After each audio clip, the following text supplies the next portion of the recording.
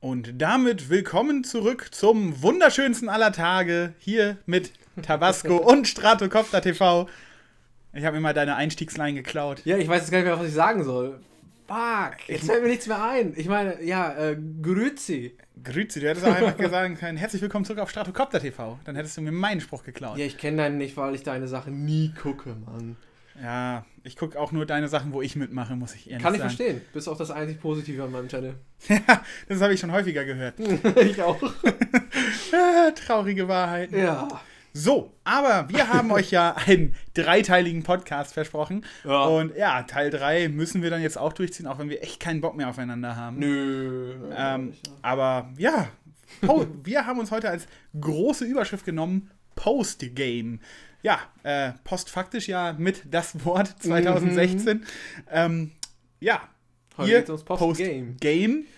Also Ah. wir brauchen quasi kein Game dafür oder was? Nein. Also, was machen wir, wenn wir die Liga besiegt haben? Story was bietet uns dieses Spiel an? Ja, man sagt ja auch gerne Late-Game-Möglichkeiten. Langzeitmotivation. etc. Langzeitmotivation, ganz genau. Und ja, da wir hier zwei CPler sind, äh, fällt uns das natürlich nicht besonders schwer zu beantworten. klar. wir fangen an, Pokémon zu streicheln und schmeißen den dann in die Ecke, den DS, wenn wir das so nach fünf Mal dann nicht mehr machen wollen. Richtig. Also, wir haben jetzt, glaube ich, beide relativ viele Pokémon schon gezüchtet und auch die ersten Kämpfe absolviert, auch schon relativ schnell. Ich hatte sogar eine kurze Flaute so wieder drin. So in den letzten zwei Wochen war ich sehr, sehr faul, was Züchten und Kämpfen angeht. Aber ja, ich habe das Pokémon-Spiel durchgerusht in eineinhalb äh, Tagen irgendwie und äh, habe dann sofort angefangen, mich damit irgendwie zu beschäftigen, was ich für ein Team bauen möchte, weil wir auch beide die Leaks verschlungen haben, wie sonst was, wussten wir schon so ungefähr, wie man welches Pokémon schon am besten spielen könnte. Und ja, züchten natürlich Nummer 1 Beschäftigung, aber da gibt es ja auch noch eine ganze Menge mehr. Resetten von Reset von Legendaries. Gibt ja auch viele Leute, die jagen nach Shinies. Da Genau. gibt es ja auch einige Methoden. Es soll jetzt so eine Carpador-Methode geben, mit der habe ich mich ehrlich gesagt noch gar nicht auseinandergesetzt. Ja, weiß- ich schon, aber. Echt? Äh, Ja, dann, dann was, was muss man da machen? Also ganz das? grob erklärt äh, scheint es wohl so zu sein, dass die ähm, ja, dass im Voraus schon geplant ist, wann so ein Shiny kommt, wann kommen welche DVs und wie auch immer. Also der gute Rigibang hat da ein ganz informatives Video zu gemacht, das habe ich nebenbei geguckt. Und man kann das einfach so machen, dass man dann irgendwie äh, 30 Carpados züchtet. Die nimmt man deshalb, weil die sehr, sehr schnell schlüpfen. Und sobald ein Shiny Carpador da ist, muss man irgendwie resetten oder sowas und züchtet dann das Pokémon, was man eigentlich haben wollte. Und an derselben Stelle, wo das Carpador Shiny war, sagen wir vielleicht das 23. Ei oder sowas, weil man immer so 30 macht und dann resettet, äh, dann wird das 23. dann auch Shiny. Irgendwie so, keine Ahnung. Und das hat eine hundertprozentige Wahrscheinlichkeit? Ja, genau, wenn man es richtig macht, schon. Aber, ähm, ich sag mal so, das hat eigentlich nur den einzigen Vorteil, dass es schneller geht, weil du weniger Eischritte brauchst. Aber ganz ehrlich, dafür musst du halt wirklich genau darauf achten und zählen und sonst was. Wenn ich ein Pokémon Shiny züchten möchte, irgendwann mal, dann mache ich das einfach so und mache das Brain AFK nebenbei, wenn ich einen Film gucke oder sowas. Und äh, dann dauert es vielleicht äh, zeitlich gesehen länger, aber es kommt mir nicht so lange vor, weil ich mich nicht damit so intensiv beschäftigen muss. Ja, ansonsten Schillerpin kriegt man richtig schnell. SOS-Chaining geht auch ganz gut klar. Also für Shiny Hunter ist das eine großartige Edition und dürfte damit halt auch ein wenig Langzeitbeschäftigung irgendwie bieten. Aber sind wir beide nicht so die großen Fans von Nee. Shiny Hunting. Ne? Ganz ehrlich, die meisten Shiny-Pokémon sehen auch einfach scheiße aus. Viele, ja. So, nur nur weil es irgendwie selten ist, weil du eine Chance von, was weiß ich, 5000 zu 1 hast, dass du eins kriegst, macht es halt immer noch nicht nützlicher. So. Ja. Aber inzwischen glücklicherweise für die Leute, die Shiny züchten, ist es ja nicht so, oh, das Ding hat nur 3DV, ich muss es wegschmeißen. Solange das Wesen stimmt, kann man ja alles damit machen. Fertig. Ja. Kronkorken rein, zack, Thema gegessen. Äh, aber das ist natürlich auch nicht das Einzige. Ähm, es gibt ja diesen großen Festival Plaza, der jetzt quasi ähm, diese niedliche kleine Schaltfläche, die wir in Generation 6 Mhm. haben, abgelöst hat. Ja, äh, ich kenne deine Meinung dazu. Meine Meinung ist nämlich tatsächlich die gleiche, deswegen fange ich jetzt mal ausnahmsweise mit dem Thema an. Hau raus. Absolut scheiße.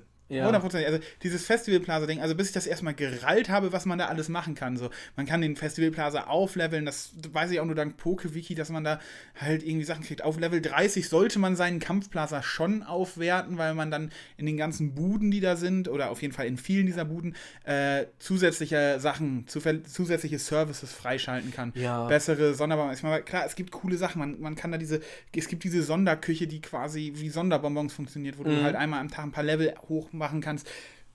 ist ein cooles Ding, aber halt auch nicht unbedingt notwendig und dafür alles andere so zu verkomplizieren. Ich weiß noch, als ich meinen ersten Wi-Fi-Kampf gemacht habe, den ich auch hochgeladen habe, das war ja der gegen Present, Mhm. ähm, den ich halt gekämpft habe und dann bin ich halt, habe ich nach meiner Kampfkamera gesucht, da gibt es ja einen extra Menüpunkt für und ich stand dann da erstmal und habe echt ewig gebraucht, um herauszufinden, wie ich Kämpfe hochladen kann. Dass mich Ja. dann nämlich ins, in den Kampfplaza muss, da in dieses Schloss rein und da rechts dann so ein Computer steht, total unscheinbar, so, wie, so ähnlich wie der Computer eben im Pokémon Center.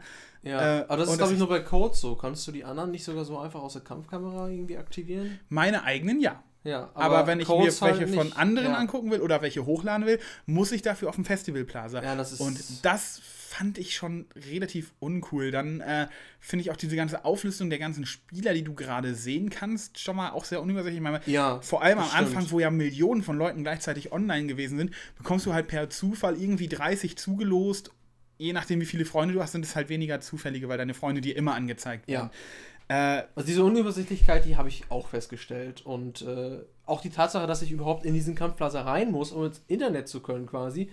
Ich meine, vorher hast du, du warst gerade züchten, dich hat einer gefragt, hey, kannst du mir eben das und das rüber tauschen? Und hattest du mir versprochen, du hast es angemacht, hast weitergezüchtet und gewartet, dass er dich irgendwie angetauscht hat. Jetzt geht das nicht mehr. Du bist in einem Ort und kannst nebenbei nichts mehr anderes machen. Du bist in diesem Kampfplaza einfach. Und das ist für mich ein richtig dicker Minuspunkt. Ich fand dieses alte System schon mal nicht perfekt. Ich habe gesagt, ja, an diesen Global Link oder PSS, wie hieß das jetzt eigentlich? Ich weiß es gar nicht mehr. irgendwie beides. Ja, ich weiß gar nicht, äh, das war jetzt Also Global Link war ja, war ja diese, diese Ja. offizielle Webseite, über die Stimmt, auch die ja, Ranglistenpunkte genau, gemacht werden und PSS hieß das System. Richtig. Aber frage mich jetzt nicht mehr, wofür die Abkürzung steht.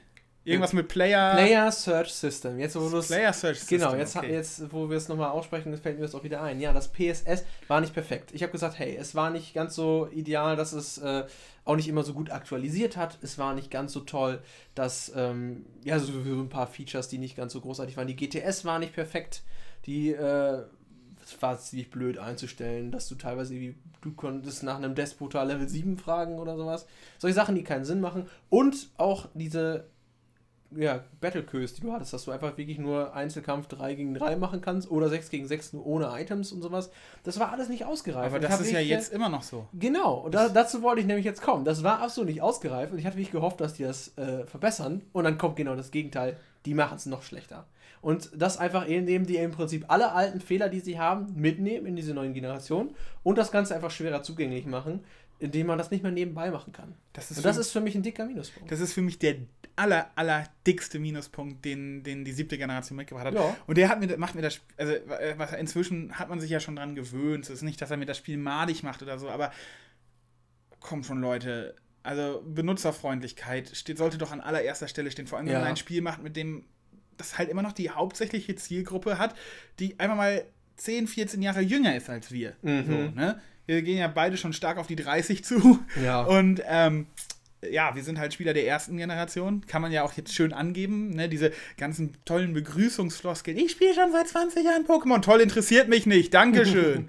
also, ähm, ja, ist nett gedacht. Macht's wieder. Ist auch ganz lustig, dass man mal auf irgendeine Art und Weise mit anderen Leuten richtig interagieren kann. Dass man, dass man deren Avatare mal sieht. Weil sonst hattest du ja. Ja, das ist in, in, Beispiel in cool. Oras hattest du das gar nicht. In Oras hattest, sah ja jeder aus wie, wie May oder Brandon. Brandon heißt ja, glaube ich, der männliche Protagonist. glaub in Aus Englisch, ja.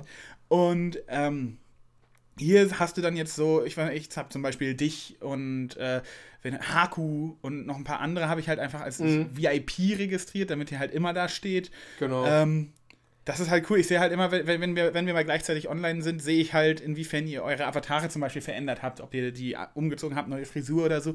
Ist mir bisher noch nicht wieder aufgefallen. Wahrscheinlich, weil wir einfach nicht mehr gleichzeitig on waren in letzter Zeit. Oder sein, ja. weil du mal aufgehört hast, Shopping Queen zu spielen in Pokémon. ja, nur noch im Real Life, weißt du ja, ne? Ja, auch eine Sache, äh, die man super machen kann post-Game. Ja, Also shoppen. Shoppen, also Geld verdienen, die Pokémon-Liga klatschen, nur für neue Klamotten. Mhm. Dreimal die Pokémon-Liga klatschen und schon ist die Handtasche eurer Träume euer eigen. Also, ja, äh, auf jeden Fall. Dafür habe ich aber auch in, äh, in Oras, sag ich schon, in XY sehr viel Zeit investiert, um die Pokémon-Liga zu plätten, nur um Kohle für Klamotten zu kriegen, weil die letzte Boutique ja damals richtig teuer gewesen ist. Ja, das ist ein bisschen bonzenmäßig. Ist ja. Ja. diesmal auch so, ne? Dieser eine dann, die später dazu kommt, dieser Shopping Mall. Ja, ich habe auch zum Beispiel noch gar nicht alles, aber ich bin da diesmal nicht ganz so heiß drauf. Ich bin diesmal ein bisschen mehr fokussiert aufs CP Und eben deswegen holt mich diese Kampfplaza und dieses ganze Shopping auch nicht ganz ab. Nee, also ja. nach wie vor ist es immer noch das Beste, gegen euch Abonnenten da draußen zu kämpfen. Genau. Man kann sich vorher darauf einigen. Äh, ich habe letztens auch einen Kampf gemacht. Ich, ist jetzt vielleicht auch ein kleiner Hauch von schlechter Verlierer in mir. Das, das, ich habe auch danach direkt den Nintendo zugeklappt. Aber äh, ich habe gegen jemanden gekämpft und es war eigentlich eine ganz klare Sache äh, hat dieses Stami halt den Delegator rausgeholt, ist irgendwie auf, ach nicht den Delegator, den Komprimator rausgeholt, ja. ist auf plus 6 Fluchtwert gegangen und hat mit Donnerwelle und äh, Siedewasser um sich geschmissen. Ja, das ist dann einfach nur so ein Kosten. also, ja, nice Strategie. Der Gegner war auch ein CP-Neuling, das hat er mir dann auch gesagt. So, Smogon war für ihn halt auch kein Begriff. Das heißt, ja. wenn ich gesagt hätte, Smogon OU oder welches Tier willst du spielen, hätte er mich gefragt, Tier, also ich mag Pinguine oder so, keine Ahnung. ähm, ja, klar. Aber das, das macht dann einen halt salty, wenn man, wenn man extra so sein freches äh, Alola äh, Geowatz dabei hat, mhm. Wahlband-Explosion mit dieser Elektrohaut oh, und ja. sich denkt so, ja, jetzt bist du zerstört, Stami, und Stami denkt sich einfach so, ich weiche der Explosion aus, indem ich. Sehr wie weicht man eine Explosion aus? Indem ich klein bin? Ja. Ja, ich weiß, aber wir spielen ja nicht umsonst äh, nach Smogon eben ja. wegen sowas und äh, ja. Ne, aber, also, ne, also wer von euch jemals Komprimator gegen mich spielt, der Entschuldigung, also ich werde den Kampf abbrechen. Sag ich jetzt schon. Und ähm, ja, auf jeden Fall hat sich nicht viel geändert in diesen ganzen Kampfmodi. Das einzige Nö. Neue ist jetzt äh, der Battle Royale, der jetzt auch online ist. Habe ich tatsächlich schon ein paar gemacht und auch da spiele ich mit vor, vor gerade schon erwähnten Geowatts sehr gerne. Das kommt dann einfach rein, explodiert und drei Kills sind mir schon mal sicher. Dann muss ich halt meistens nur noch dafür sorgen, dass ich irgendwie nicht als erster sterbe und ja. Äh, ich habe eine gar nicht so schlechte Erfolgsquote dafür, dass ein Battle Royale doch ganz schön random ist eigentlich. Ne? Ja, das, das stimmt. Aber ansonsten, ja, vom Battlen her hat sich wirklich nicht viel getan. Never change the running system. Ich war zufrieden. Wir haben ein paar Neuheiten eingebaut. Eben, haben wir schon mal erwähnt, so ein paar Buffs. Dann die äh, Z-Kristalle und sowas. Und äh, das ist natürlich auch eine Art Postgame. Und Langzeitmotivation. Den ganzen Kram müssen wir jetzt alle erstmal lernen. Also gerade für uns CP-Spieler ähm, breitet sich jetzt erstmal ein komplett neues Metagame so langsam aus. Die Tiers kommen jetzt alle erst noch ein paar Wochen. Und äh, ja, das beschäftigt ja auch. Wir sind ja nicht nur im Spiel unterwegs, sondern auch noch auf YouTube, in Foren und in Gruppen bei Facebook und äh, haben da hier momentan sehr, sehr viel Austausch und äh, das bockt Pokémon auf jeden Fall wieder so einen festen Bestandteil des Tagesablaufs zu haben. Ist cool. Ja, also auf jeden Fall, äh, man, man steckt sehr viel Zeit rein. Äh, ja. Ein Kumpel von mir hat mich heute zum Beispiel noch nach Zuchtresten gefragt, der halt einfach nach XY gar nichts mehr mit Pokémon eigentlich am Hut hatte, mhm. CP. Dem habe ich damals das äh, Züchten beigebracht. Ne? Das war, in deinem Freundeskreis warst du es ja, in meinem Freundeskreis war ich ja. es, der so ein bisschen genau. Äh, sich erstmal selbst das alles beigebracht hat und es dann weiter, äh, weiter, ja, geteacht hat, weiter gelehrt hat. Ähm, und das war jetzt also einer meiner, ich sag mal in Anführungszeichen, Schüler ist wieder auf mich zugekommen, hat gefragt, ob ich noch Zugreste hatte. Ich so, oh geil, du willst wieder, ne? Also ja, ich versuch's nochmal. Ja. Und äh, ja, fand ich ganz geil. So. Und äh, dadurch, dass das jetzt wieder mehr spielen, klar, der Gen 6-Hype war total am Arsch. Also, ja, klar. Das, ich, ich, wenn ich jetzt mal sehe, was, was wir beide an Abonnenten gemacht haben, ne? An dieser Stelle nochmal danke an alle, die wirklich so blöd sind, uns zu abonnieren. Ähm, einfach dadurch, dass jetzt ich, also hauptsächlich eben wegen diesem Gen 7 Hype. Ja, so. der Hype ist einfach wieder da. Alle haben wieder Bock auf was Neues und äh, davon gibt es auch eine ganze Menge, zum Glück. Und äh, es wird den Hunger auf jeden Fall für einige Zeit stillen, ganz klar. Muss es. Also äh, so schnell wird ja erstmal kein neues Pokémon kommen. Für mhm. den DS ist ja sowieso erstmal die Frage, es ist ja die Nintendo Switch jetzt in aller Munde. Äh, ob das nächste Pokémon-Spiel wirklich nur noch für die Switch kommt, ist halt auch so eine Frage äh, wäre dann auf jeden Fall auch wieder ein heftiger Kostenfaktor. Und auch dann wieder die Frage für jeden Poketuber, wie kriege ich das auf YouTube? Also ja. muss ich da nochmal ein extra Gerät für kaufen, weil unsere Capture Card würde dann ja erstmal nichts mehr machen. Ja, das stimmt. Also ich hätte nichts dagegen, wenn jetzt noch irgendwie ein paar Remakes und eine Zusatzedition oder, oder beides oder was auch immer für den äh, 3DS rauskommt. Aber ich wäre auch bereit, das Ganze auf eine neue Ebene zu hieven. Aber ich denke nicht, dass das jetzt passiert. Also ich denke mal, so ein, so ein Konsolenwechsel passiert nicht innerhalb einer Generation. Auch wenn viele momentan so Pokémon Star für die Switch vermuten. Vielleicht für beides, aber ein kompletter Wechsel kann ich mir eigentlich nicht vorstellen. Ich glaube nicht, dass Nintendo das möchte. Vielleicht, äh, weil es haben sich jetzt vielleicht welche für die neue Generation extra noch ein 3DS gekauft oder so und wenn jetzt irgendwie in einem Jahr oder eineinhalb Jahren, wie lange sowas immer dauert, bis da so ein äh, Remake oder eine Zusatzedition da ist, wenn dann schon wieder was Neues anfällt, Das wäre doch auch irgendwie blöd. Ja, ja das, das sehe ich ganz genauso. Ähm, ja, aber tauschen ist ja auch noch eine der Grundmechaniken Klar. von Pokémon. Ähm, eigentlich genau das gleiche wie, ähm, wie auch schon in Generation 6. Das GTS ja. hattest du ja schon angesprochen. Äh, nach wie vor irgendwie uncool, weil du da ziemlich viel fordern kannst und ähm, ja, was ich jetzt ganz cool finde, ist diese vorgefertigten Antworten, die du geben kannst. So, ich habe dieses Pokémon mit viel Liebe trainiert und so. äh, was, mich halt, was, was mich halt aufregt, ist, äh, dieses, dieses, es gibt ja dieses neue DV-Check-System. Sobald du 20 ja. Eier gelegt hast, kannst du ja den Typen am Kampfbaum ansprechen, der installiert dir das in deinem PC und du kannst jederzeit die DV deiner Pokémon checken, was beim Züchten eine unglaubliche Erleichterung ist. Ja, ich das fand ist das so gut. Das ist die ja. beste Neuerung. Aber wieso kann man dieses System nicht verdammt nochmal fürs GTS machen? Ich kann jetzt in meinem GTS, kann ich den letzten Rotz nehmen, was weiß ich, das Ratzfratz Level 1, das sich mhm. gerade irgendwie aus dem Wundertausch gezogen hat. Scheiß Wesen, scheiß DV, noch nichts dran gemacht, keine Zuchtattacke, kein nichts. Ja. Ich gebe da einfach hin, dieses Pokémon ist frisch aus dem Ei geschlüpft oder in diesem, nee, in diesem Pokémon schlummern große Kräfte. Ja, so, genau. der Typ gegenüber denkt sich so, ja, geil, das hat dann wahrscheinlich so, ist irgendein Zuchtrest mit 4, 5 DV, geil, ja. nehme ich und gib mir dafür seinen Zuchtrest mit 4, 5 DV, weil ich fordere für mein Level 1 Ratzfratz, was weiß ich, ein Level 1 Zubat. Ja. Ja, würde ich nie machen. Niemals Pokémon fordern, die man unter Level 10 fangen kann, weil dann bekommt ihr nie die Zuchtreste, die ihr braucht. Kleiner Profi-Tipp hier. Ähm, aber was weiß ich, bekomme dann einen Koalelu-Zuchtrest. Freue mich einen Ast. Ja, geil, ich habe einen 5DV Koalelu. Mhm. Muss noch drei Eier legen, bis ich mein perfektes habe. Und ja, mein Gegenüber kriegt ein 1DV oder 0DV Ratzfratz. Äh, ein, ein verdammter Knopf hat der gefehlt. Einfach selber hier die Richterfunktion ja, im GTS, genau. um einfach mal zu sehen, was was kriege ich da überhaupt? Kann man mittlerweile überhaupt die Wesen sehen? Das ging in Generation 6 nicht. Ne? Ja, das geht auch 6 kannst du nicht. Du kannst hier nicht den Bereich sehen. Du siehst nur das Pokémon, du siehst das Level und du ja. siehst diese Nachricht, die der Trainer hinterlassen hat. Und das ist für mich schon in Generation 6, weil so viele Leute haben dir, vor allem am Anfang, was jetzt bestimmt auch wieder der äh, äh Fall ist, wir haben ja das Glück gehabt, dass wir von dem Abonnenten 6 DV-Ditto geschenkt bekommen haben. Mhm. Äh, ganz viele Leute fordern erstmal Dittos für irgendwas. Ja. Meistens auf Level 100, weil ja, Dittos fängt man auf Level um die 30, glaube ich, ne? Mm, In dem ich glaube, ja, ja, dürfte ungefähr. Ist ja an dem gleichen Gebiet, wo auch Meteno auftaucht. Ja. Äh, ja, man fordert, fängt es um die Level 30, niemand trainiert es dann auf Level 100. Heißt, jemand, der in Level 100 Ditto verschenken kann oder vertauschen kann, wird meistens eins aus PK-Hacks oder so haben. Ja. So, und darüber, das kann ich dann fordern für, was weiß ich. Entweder für totalen Scheiß oder ich gebe meine teuren Legendären dafür her. Ähm, aber das ist halt traurig irgendwie. So. Es ist nicht ausgereift. Das ist halt auch genau das, was ich eben meinte. Das war in Generation 6 schon nicht fertig, in Anführungsstrichen. Und jetzt haben sie es einfach mitgenommen nochmal. Und das ist einfach, ich habe die GTS noch nicht einmal aufgemacht. Ganz ehrlich, wenn ich ein Pokémon haben möchte, dann frage ich im Forum oder in der Community meines Vertrauens, dann kriege ich auch was. Und äh, da kann ich auch noch jemandem, den ich persönlich kenne, eine Freude damit machen. Klar, auf die Schnelle, wenn man sich so sagt, hey, ich will jetzt unbedingt einen Kommandutan haben und da ist eins, der von mir einen Quartermark fordert und genau, ja, ich habe die andere Edition, das hat halt funktioniert für einige, aber machen wir uns nichts vor, das ist jetzt in den ersten Tagen so, wo alle den Pokédex irgendwie vervollständigen wollen, dann machen die noch faire Angebote. Aber in ein paar Tagen ist das wieder so, dass die für einen Radfahrt eine Mew haben wollen oder sowas. Ja. Ganz ehrlich, die GTS und äh, ja, das ganze neue PSS, wenn es überhaupt noch so heißt, schockt mich überhaupt nicht. Ist leider immer noch nicht perfekt. Gut, gut, guter Gedanke, schlecht ausgeführt. Kann man ja. so, glaube ich, mal abschließend sagen.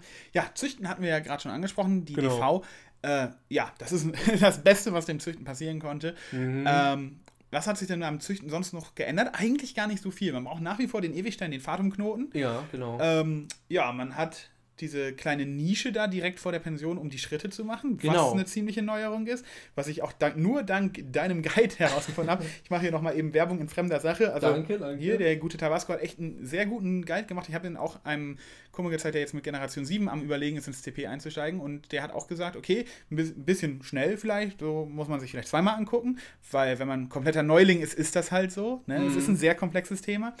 Ähm, aber auf jeden Fall gut und verständlich. So. Freut mich auf jeden Fall, das zu hören. Und Perfekt ist er nicht und dann nee. kommt er zum Glück auch noch ein neues. Es war ja, es war, es war, es war ja dein erster Guide. Ja. Ne? Wir haben ja noch ein anderes Guide-Projekt vor, das wir zusammen machen wollen. Hier schon mal ein kleiner Spoiler. Ne? Ähm, da freue ich mich auch schon wieder drauf. Mhm. Auf jeden Fall, der Link zu diesem Guide auf Tabascos Kanal kommt hier auf jeden Fall äh, unten in die Videobeschreibung.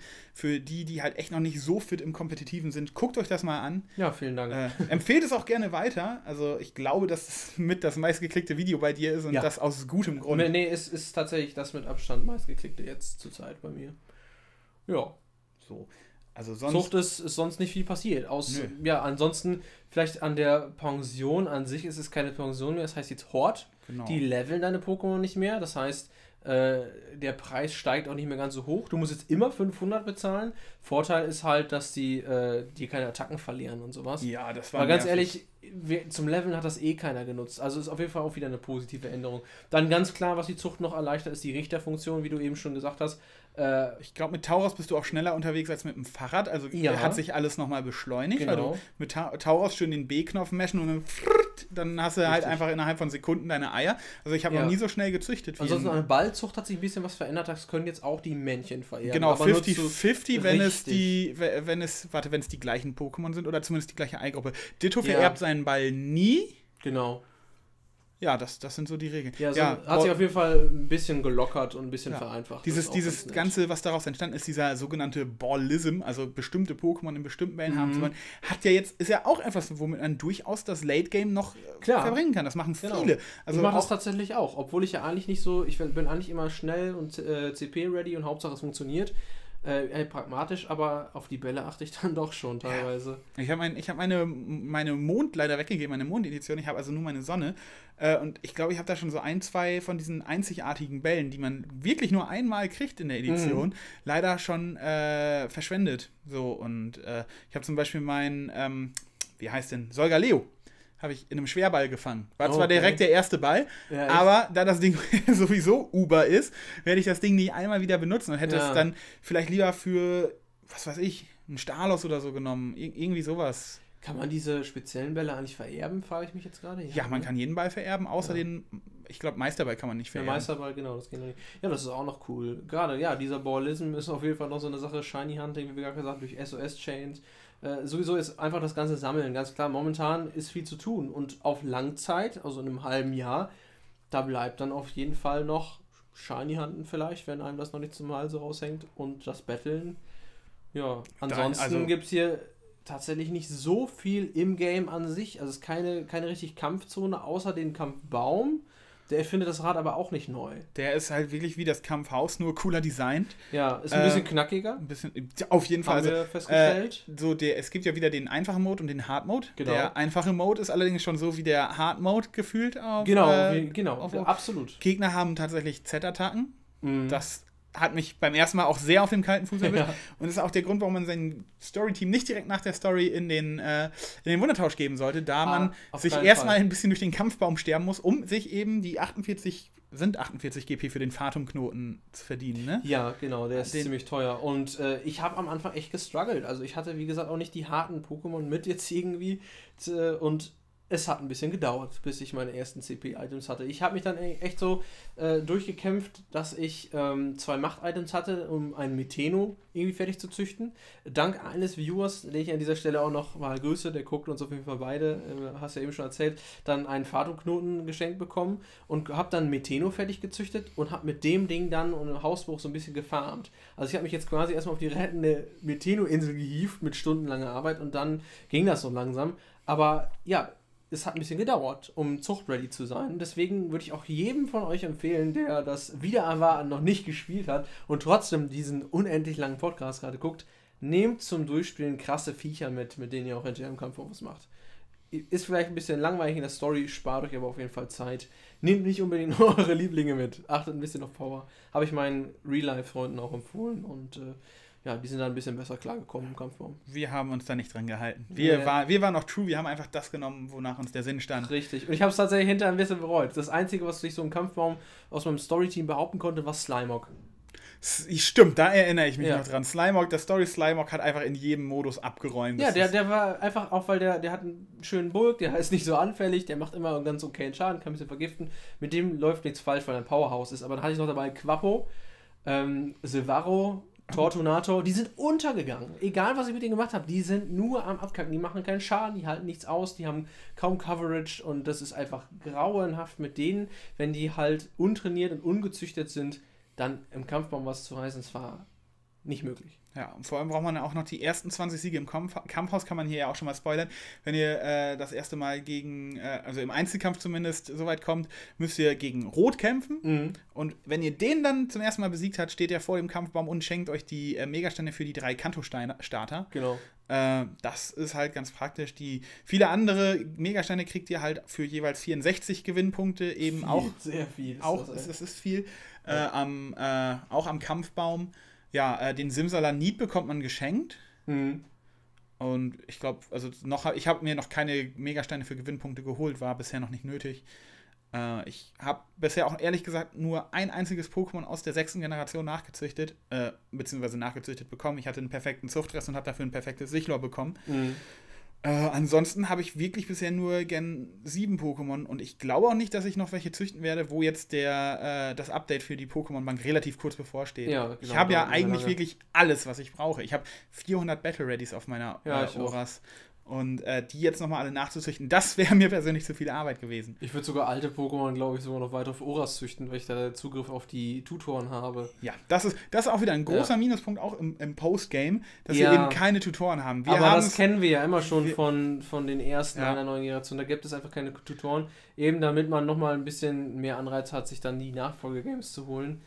Und ja, das ist ein bisschen schade. Ich freue mich darauf, wenn Kostur so endlich den Ableittipp kriege. Das habe Oh, ich in der Analyse schon viermal Ja. gesagt und das sage ich auch hier noch fünfmal. Das wäre so großartig. Ähm, ja, auf jeden Fall. Was hat das Po- Postgame denn noch was zu bieten? Hat es überhaupt noch was zu bieten? Es, Also, es ist gibt halt ja so, so kleine Sachen. Also Pokémon Resort hatten wir schon mal angeschnitten, glaube ich, im ersten Teil.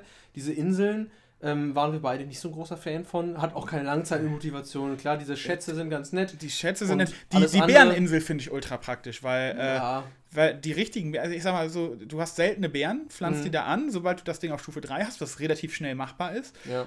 äh, kommst du da innerhalb von einem Tag oder so auf acht Bären von dieser Sorte pro, die du angepflanzt hast. Sodass du halt sehr schnell auf sehr viele Bären kommst. So. Genau. Generell alle erst, allerdings erstmal die grundsätzlichen Beeren zu kriegen, die du überhaupt brauchst, um sie anzupflanzen. Das ist wieder eine andere Geschichte, weil dafür musst du ja tatsächlich auf den Zufall hoffen. Du hast ja diese Beerenbäume, wo du per Zufall irgendeine Beere bekommst. Aber Mhm. Ich habe mich damit tatsächlich noch gar nicht beschäftigt. ja, ich habe hab's auch, Keine äh, Ahnung auch davon. das habe ich nur wieder per Zufall irgendwo Ja. gelesen. Äh, das, also es, bestimmte Beeren wachsen auf bestimmten Routen, ganz normal. Mhm. Allerdings ist es da dann wieder zufällig, welche du kriegst. Du kriegst dann ja, was weiß ich, so drei bis sechs Beeren pro Baum. Äh, und äh, da ist halt zufällig, da, da gibt es halt einen bestimmten Pool an Beeren, der kommen kann und davon kriegst du per Zufall welche. Und Okay. es gibt ja auch durchaus welche, die sich, äh, die, die Bärensammler sind, die halt wirklich alle Beeren haben wollen. Äh, ich muss sagen, in Oras habe ich einfach mal den Cheat benutzt und hatte alle Beeren 999 ja, Mal. ich würde mir den auch irgendwie Äh, besorgen. Zur Not gegen mich- Zuchtreste. mich- also mich fixt das jetzt nicht. mich- Also das ist auch eine kurze Sache. Nur sobald Ja. du alle Bären irgendwie ein paar Mal hast, ist auch gut, ne? Ja, ich, was mich halt interessiert, wo ich mich, wo ich mich nie schlau gemacht habe, wo ich demnach auch noch nie durchgestiegen bin, ist, ist diese Mutationsbeeren. Also es gibt ja bestimmte Beeren, auch damals nie die, mit die, beschäftigt. die das war mir kriegst du nur, wenn du zwei bestimmte Beeren nebeneinander pflanzt, Ja. dann zack, wächst da noch eine dritte oder so. Ich, wie, ich weiß nicht mal, wie das läuft. Oder ob einer der Sträuche dann mutiert. Mhm. Keine Ahnung. Und Ich weiß auch nicht, ob das in Generation 7 überhaupt noch funktioniert. Aber auf jeden Fall brauche ich wieder eine Eipfelbeere für meine Robustheits-Explosions-Pokémon. Also sonst, sonst läuft das ja nicht. Nee, Ne? das stimmt. Ja. Also, Bäreninsel sollte ich mir mal angucken, sagst du? Ja, ich, Bär- bin, ich bin, nicht, bin nicht ganz so, ganz so motiviert auf das Pokémon Resort, was viele Sachen halt angeht. Ich bin auch nicht motiviert, das Festival Plaza irgendwie äh, auszubauen oder den Also bis, bis, drei, bis benutzen. 30 solltest du es wirklich machen. Ja, ich, ich, ich schau mal, Papi, okay? Ja, mach das. Also ich bin kurz vor Level 40. Ja. Ich glaube, dann kann ich die Hintergrundmusik ändern. Woo! Und auf Stufe Wow. 50 und auf Stufe 50 kann ich, kann ich mein Schloss ändern oder so. Steht auf, Okay. po, steht auf PokeWiki. Dafür muss ich auch nur jeden Abend irgendwie drei Stunden Events machen, um irgendwie fünf Level zu machen. Oh, ja, ey. super, ey. Fixt mich nicht so an, um ehrlich Nee, zu sein. es hat auch, auch da wieder das gleiche Problem wie beim Spiel selbst. Die Levelkurve ist irgendwie ätzend. ja, das, wenn du- das stimmt. Wenn es einfach schneller gehen würde. Ich meine, ich habe ja mir sogar in Oras damals die Mühe gemacht, diese 1000 Fahnen für die Geheimbasen zu sammeln. ja. Ich habe wirklich eine Platinfahne gehabt. Ich, ich habe äh, das auch nicht gemacht. Da bin ich nicht ganz Ich so. kann es nachvollziehen. Ich habe das auch Ja. nur gemacht, weil ich äh, irgendwie die Fähigkeiten ganz nett fand. Ich äh, habe ja gerne gezüchtet, so zack, mit Chanera-Basis hochtrainiert. Mhm. Äh, und ja, wenn du dann aber eine Rückkehr haben wolltest auf dem Pokémon und viel Schaden machen musstest. Ich hatte halt auch wirklich nur Leute in meiner Basis, du kannst ja bis zu fünf Leute in deiner Basis haben, die Pokémon massieren konnten. Das war einfach das Wichtigste. Okay, habe ich alles nie gemacht. Es gab, es Ich gab weiß gar nicht, wie ich hier rüberkomme. Ich sage ständig, dass ich diese ganzen Mini-Sachen nie gemacht habe. Für mich zählt tatsächlich äh, echt nur irgendwie Battlen und Züchten. Das ist fast es, schon es alles. ist auch die Hauptsache. Und Ja. der Festival Plaza, äh, so ganz nebenher, wenn ich wirklich nichts zu tun habe, ich habe momentan echt keinen Bock zu züchten, muss ich zugeben. Mhm. Ich habe mir noch ein Koalelu besorgt, das ich eigentlich Battle Ready machen müsste. Äh, ich müsste auch noch eine speziell defensive Version oder zumindest eine defensive Version von äh, Silvaro machen mit Auflockern. Apropos, Die ist das nicht ein Giveaway von dir? Ja, hey, nochmal eine Überleitung zu Ich habe da dir. tatsächlich äh, Zuchtreste, kann ich dir gerne geben. Ja, ansonsten äh, Langzeitmotivation ganz klar. Äh, Angeln vielleicht noch ein paar Kronkorken angeln für die Leute, die dann dieses neue Supertraining haben wir uns auch schon drüber, ich will sagen, ausgelassen. Äh, ja, ist auch noch eine Langzeitmotivation. Ansonsten wird, wenn man erstmal so durch ist, man hat jedes Item, man hat die ersten Pokémon gezüchtet, die man haben wollte, man hat die ganzen Beeren, man hat vielleicht seine Sachen, die ich halt alle nicht so sinnvoll finde, wie irgendwie ein bisschen ausgebaut. Ganz ehrlich, dann bleibt leider nicht viel Postgame und viel Langzeitmotivation, außer weiter züchten und weiter betteln. Und äh, das ist leider auch wieder mal, wir kennen das ja von Pokémon, das ist halt wieder mal ein kleiner Minuspunkt, dass da eben nicht so viel bleibt. Allerdings, Ja. jetzt mal eine ganz ehrliche Frage, was würdest du da auch noch, was würdest du da ändern? Nichts, denn ich bin ja mit dem Battlen auch sehr, sehr zufrieden. Aber Eben. für Leute, äh, die eben nicht so sportlich und kompetitiv irgendwie unterwegs sind wie wir, ja, da sieht man halt auch ganz oft in den ganzen Communities, die Leute, die keine CP-Spieler sind, die haben auch irgendwann keine Lust mehr auf Pokémon.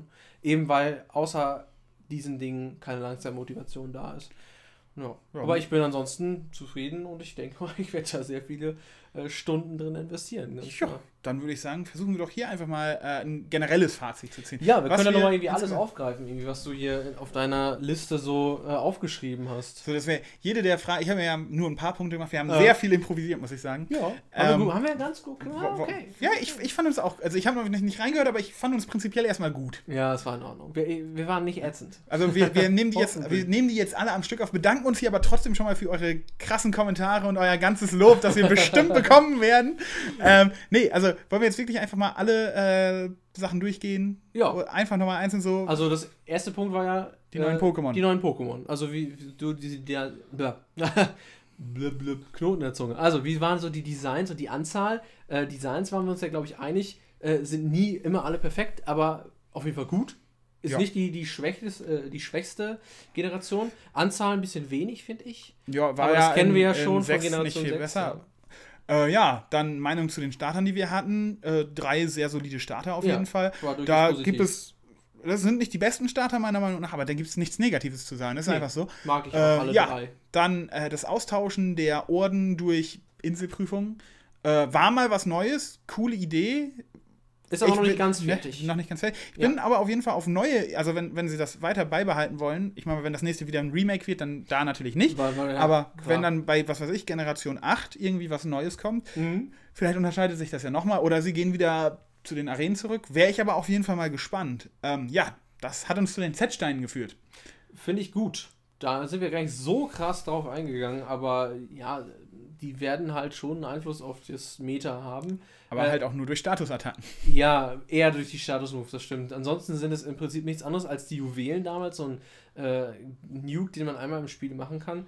Ähm, ich fand sie erst sehr, sehr blöd, als sie released wurden. Habe ich erst gedacht, bitte nicht. Nicht so starke One-Shot-Sachen, weil dieses ganze One-Shot und offensive Play liegt mir gar nicht so und macht mir auch gar keinen Spaß.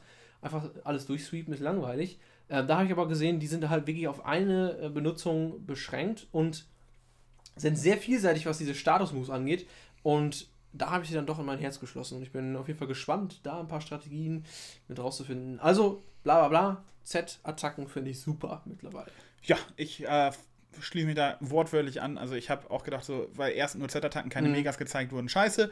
Äh, hatte nach wie vor allerdings lieber ein paar neue Megas gehabt. Ja. Aber die Z-Kristalle haben durchaus ihren Nutzen und werden bestimmt auch irgendwo Einfluss haben. So, ähm, was haben wir denn als nächstes? Ich hab mein Schillerpin, dass es den so früh gibt, also ein bisschen Der, Shiny das war Hunter. uns beides halt egal. Ja, wir da sind nicht haben die wir, großen wir, Da haben wir ne? einfach keine Meinung zu, ist einfach so. Aber habt ihr bestimmt, könnt ihr ja gerne mal schreiben. Ja, Performance-Problem auf dem 3DS ist das, das, das ist das große Problem. Das ist der große Schatten, den äh, die siebte Generation meiner Meinung nach wirft. Ja, ist das erste Mal, dass es wirklich krass ist. Also ansonsten ist mir das vorher noch nie so wirklich aufgefallen, dass da mal so FPS-Einbrüche waren oder so. Und äh, ja, dadurch vielleicht auch das Wegstreichen der Dreierkämpfe. Auch sehr schade, wie ich gesagt habe. Dich hat es jetzt nicht so sehr gestört. Für mich ist es ein dicker Minuspunkt leider. Und äh, ja. Dann die wegfallenden Kampfmodis, ja. die dazu kamen, äh, liegt wahrscheinlich an der Performance. Ist allerdings auch nur eine Theorie von uns, ne? Also ja. nicht sagen, so, aber hier Strato Pasco haben gesagt. Ja. Es ist, ist, eine Idee von uns gewesen. Es muss ja irgendeinen Grund haben. Vielleicht hat man sich auch gedacht, so, ach, die hat eh keiner gemocht, wissen wir nicht. So, kommen wir zur Story. Ja. Äh, die Story können wir eigentlich mal in eins zusammenfassen. Ja, ganz klar. Die war großartig. Ja, also ich glaube, wir waren mit Charakteren, mit Aufmachung, mit Inszenierung, Optik mit allem eigentlich zufrieden. Welt auch, habe ich gar nicht Schwierigkeitsgrad. So, ja, also äh, auf die, die Inseln bin, sind wir jetzt gar nicht so wirklich eingegangen. Das möchte ich mal wirklich sagen. Äh, ist, glaube ich, meine Lieblingsregion von allen, zusammen mit Höhen. Ich mag es ein bisschen abwechslungsreicher, bunter, wilder, äh, nicht diese ganzen Großstädte und sowas. Und äh, war genau mein Ding. Gerade dieses, dieses äh, sommerliche Flair auch perfekt. Ja. 1 plus auf jeden Fall, also schöne Region. Kam mhm. mir allerdings ein bisschen, kommt mir ein bisschen kleiner vor, könnte aber daran liegen, dass man etwas schneller unterwegs ist als in anderen Spielen. Ja, könnte sein. Ähm, ja, und dann das Postgame, was wir jetzt gerade schon alles gesprochen haben. Ja. Äh, ja, kurz zusammengefasst, im Endeffekt bleibt uns beiden zumindest erstmal nur das Kämpfen. Genau. Das Wichtigste ist noch da, äh, es haben sich ein paar coole Sachen halt geändert, neues Meta, neue Mechaniken, äh, ja, stillt den Hunger auf jeden Fall. Ansonsten. Ich, seh, ich sehe, dass, ja. wir den, dass wir den wichtigsten Satz überhaupt gar nicht wahrgenommen haben, der hinter dem Kampfbaum-Fragezeichen steht. Da steht Red und Blue, du Hurensohn, Beste. Ach so. Ja, also Red also, und Blue haben mich jetzt nicht so mega geflasht ich, ich, ich hab, alle. Also, also der, der, der Gastauftritt von denen fand ich, fand ich richtig cool. Äh, vor allem, dass du Blau hast, der dich voll labert. Ja, und, und, und Rot. Und Rot, Punkt, Punkt, Punkt, Punkt, ja. Punkt. Ich habe mich einfach wieder zurückversetzt an den Silberberg gefühlt und als man damals auf dem Silberberg stand und das erst und seinen eigenen Charakter quasi herausgefordert hat, ja, als man cool. gegen Rot gekämpft hat, das war für mich bis heute der epischste Pokémon-Moment und Klar ist das, das cool, dass sie wieder ja. da sind, aber das Pokémon-Internet ist irgendwie geschmolzen, als das Review ja, wurde. Und so ich habe so gedacht, so, ja, ist okay. Also ich fand es jetzt nicht so. Und äh, die Musik von den beiden haben sie verhunzt. Also, ich muss sagen, nee. ich, ich habe ganz oft die Musik an meinem DS aus. So, alle sagen immer so, Pokémon, schöner Soundtrack. Ich so, ja, 8-Bit-Musik. Ich könnte aber auch einfach Spotify hören. Und ja, meistens gewinnt Spotify. Also ich, ich mag ja Pokémon-Musik sehr gerne. Ich mag auch die Remixes zum Beispiel. Ja, so Glitchik City. Danke nochmal, dass wir deine Musik benutzen dürfen. Du bist die schönste Frau der Welt. Du, du verstehst uns nicht, weil du nicht deutsch bist, aber... Ja, aber trotzdem, also Pokémon-Musik ist geil. Ich habe teilweise auch ein paar Stücke, ob orchestral oder aus dem Anime, in meinen Playlists beim Zocken. Und ich mag äh, die Musik, die äh, Blue damals hatte und die haben die jetzt in Generation 7 einfach vor uns. Das klingt so grausam. Ich habe sie nicht gehört. Äh, es, es, klingt, keine Ahnung, ein bisschen wie so ein. Es hat so einen Seemanns-Touch bekommen, so Akkordeon-mäßig. Finde ich nicht schön. Naja, ansonsten, ja, schön, dass sie da waren. Ähm, schön, dass ihr da wart, ja, wieder gehen. Ciao. hat mich jetzt nicht so geflasht. Gibt es sonst Sachen, die dir fehlen irgendwie? Hatten wir, glaube ich, schon ein bisschen gesagt. Also ich glaube, wenn wir jetzt alle Punkte mal abgearbeitet haben, kann man feststellen, wir sind wohl zufrieden. Also ich bin einfach von, von Oras ja, verwöhnt, wie viele Legendäre ich fangen kann.